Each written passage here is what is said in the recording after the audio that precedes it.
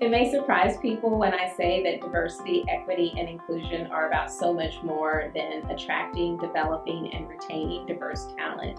Yes, those talent management practices are absolutely important, but I see them as a pathway that enables organizations to deliver tremendous value to customers and the community. We want to change the world for the better, and that is why we help organizations understand and build the power of we.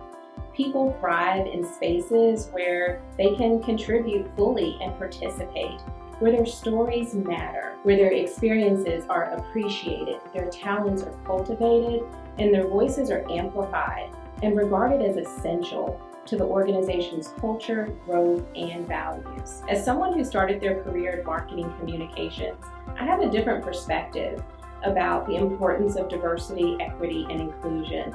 I'm constantly thinking about how to tap into the best aspects of the human potential in order to deliver incredible results.